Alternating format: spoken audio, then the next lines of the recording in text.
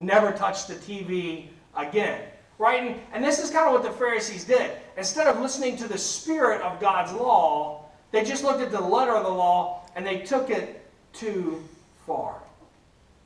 So not only did Gracie ignore the spirit of what I said, she avoided doing what I really wanted. She spent all of her time policing everyone else. And so what I really wanted was not for her to not touch the TV. What I really wanted for her was to join the rest of the family in the work I had for us to do.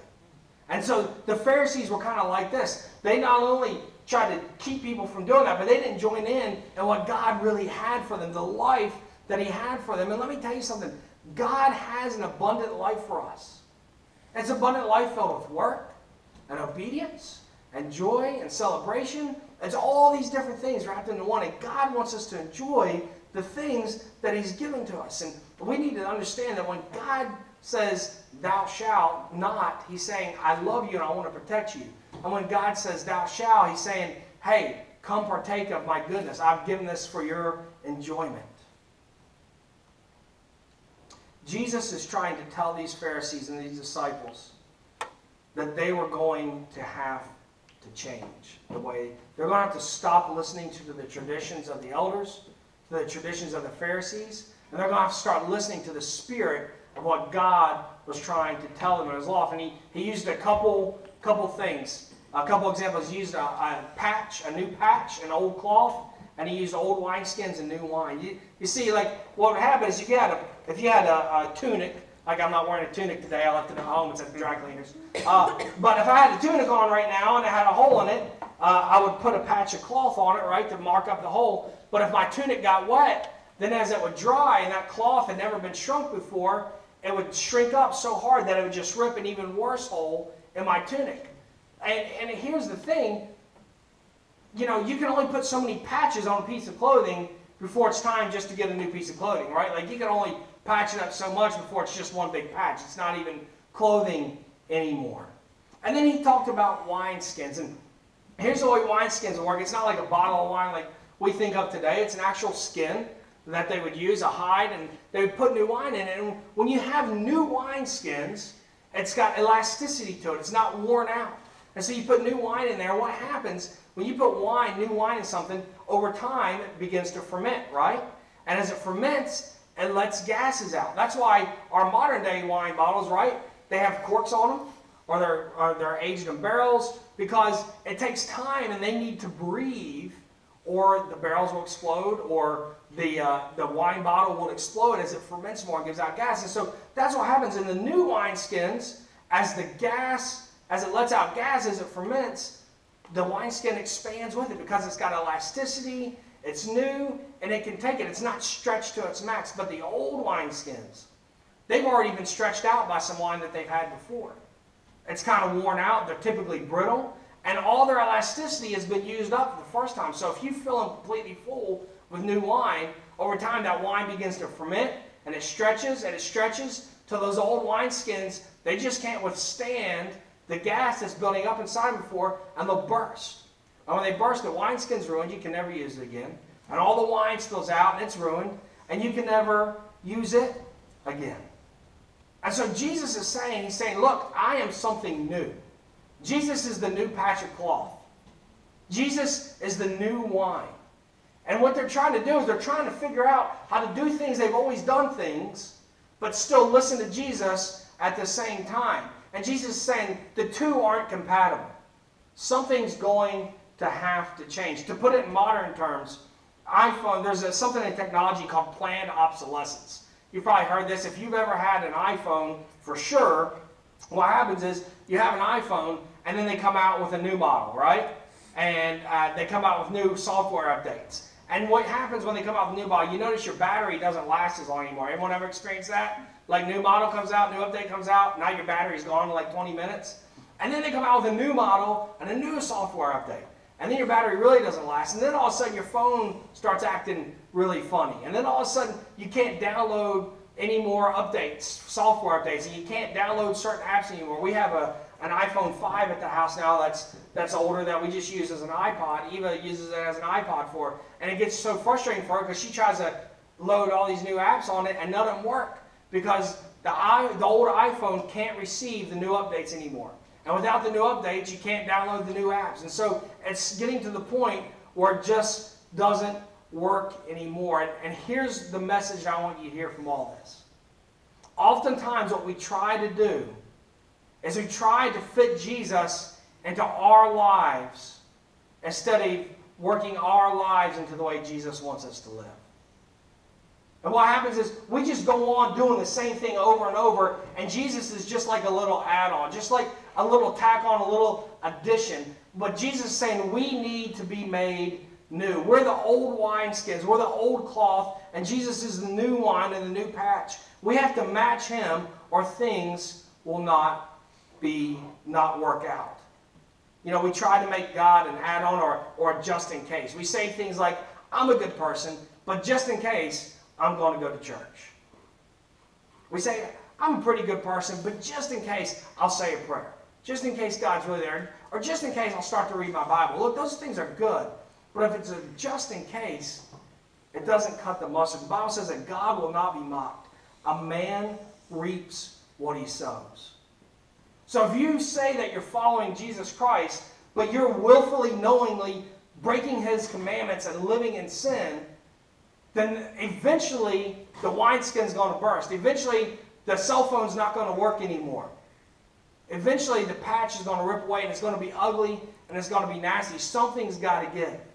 You know, Jesus was talking to someone and he said, uh, he said, you know, you have to be born again.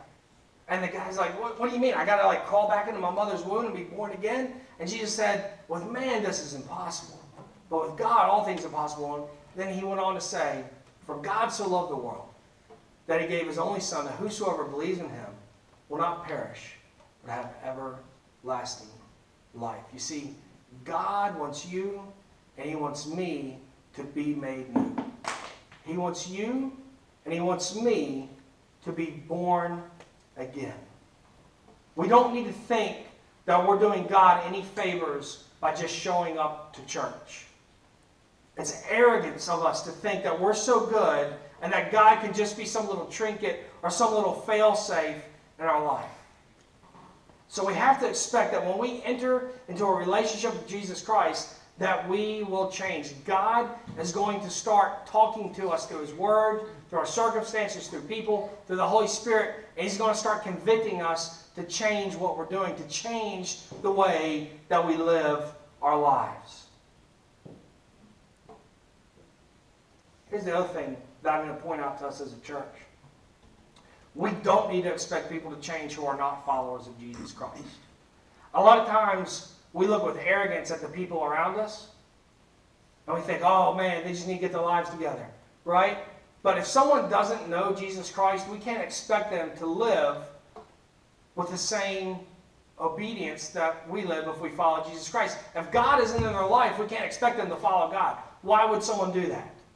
But I think a lot of times as a church, we sit in a judgmental seat above people and say, oh man, they're just so messed up. Well, man, look, they're not following God. Like God hasn't come in and started to change their lives. We can't expect that from them. Our job is to love them, to pray for them, to let them know that God loves them and has an abundant life waiting for them. But our, God, our, our job is not to sit here and to think that we're better than everyone else. That makes us just like the Pharisees. The change is always far better than if we just kind of try to tack God onto our lives. That's the abundant life.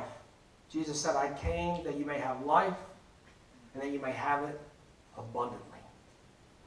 But you can't have an abundant life if you're trying to stuff new wine into an old wineskin.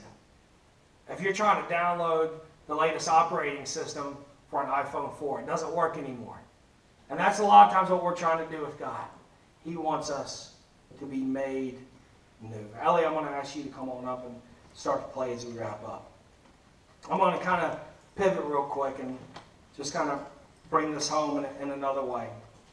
One of the things that I believe God wants us to change, and one of the ways I think He wants us to change us, is to change our heart for people.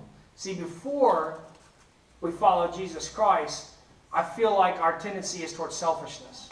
we think about ourselves, we think about our family, and that's it. Like that's that's just kind of what's important. But after we meet Jesus Christ, we realize that God is an unselfish God, that Jesus is an unselfish Savior. Like He gave His life for us. And so we begin to see things differently because we begin to say, man, I can live this life of sacrifice. I, I can give my life. I can start to think about other people. And one of the best ways I know to love radically other people is to pray for them. And so I talked about this last week. I want to talk about it again this week. And it's a challenge I'm putting out to us as a church. It's to find your five. Okay? I want to challenge you to find your five. And here's what I mean by that. I'm challenging each of us to find five people in our lives friend, family member, co worker, neighbor, whoever who is far from God and commit to pray for them this year in 2020. That's it. Just find five people. Maybe, maybe you know them as soon as I say it. There may be like three or four people that just like instantly you know. Maybe you need to think about it and ask God, God, who do you want me to pray for? And God will lay people on your heart. But I want to challenge all of us to find five people who, as far as we know, are far from God because God wants us not to be far from Him, but close to Him. That's why He sent Jesus. So, five people who are far from God and commit to praying for them. Like, not just when you think about it on occasion, but like, I'm talking like every day of the week. Begin to pray for these. It doesn't have to be like a five hour prayer, but every day of the week, you're going to pray for these five people. You're going to learn what they need prayer for and start praying that God would answer prayers in their lives. You're going to start praying that God would bring them closer to Him. And that God would put people in their lives that would point them towards Him. And so, just as we think about living a life that's marked with joy and living a life that's marked with change, one of the changes I want to challenge us to make as a church is to start praying for people in our lives who are far from God. Let's pray. God, you're awesome. We love you. And um, Lord, we thank you for this journey um, that your son Jesus has already taken in this life, God, on this earth. And um, God, he can relate to us in so many ways, including being tempted. Um, God, in, in every way like we've been tempted in this life. But God, the one way that he can't relate to us is that he resisted the temptation. He never sinned. And so, because of that, he was able to be a perfect sacrifice um, for our sins on the cross. And so, we thank you for that. God, I pray that in response to what Jesus has done, that we will live lives marked with joy. God, that we will live a life in celebration of the salvation we have through Jesus, of the communion and the relationship that we have with you, God, and of the love and the fellowship that we have with one another. So let our lives be marked with joy. God, let our lives be marked with change. Lord, I pray today that that change will begin with loving for, loving and praying for other people. God, show us who you want us to pray for as individuals and as a church. And God, I pray that you will hear our prayers and that you will answer our prayers and people who are far from you. God, maybe people who are hurting or have been hurt by the church even, Lord, people who feel hopeless. God, that they will come to you and come to know that you love them and that you care for them and they have worth because they were created in your image and you love them. And they'll come to know that because you're answering our prayers. And so, God, I, I just pray that as we sing for you during this uh, time, Lord, that you'll just, um, Lord, seal our hearts together, knit them together for this purpose. God, I pray that if there's anything in our lives that's unpleasing to you, Lord, that will confess it. God, that will turn from it. And we'll begin that life of change today. Maybe it's just obeying your commands, Lord. Maybe it's maybe it's just doing the things that Jesus did, living and loving like he did. And God, maybe some of us just need to learn how to live with joy. And God, I pray that you'll show us something in our lives today that we can be joyful about and celebrate. And Lord, I pray that as we celebrate, that'll come through as we sing to you today. We love you and pray these things in Jesus' name.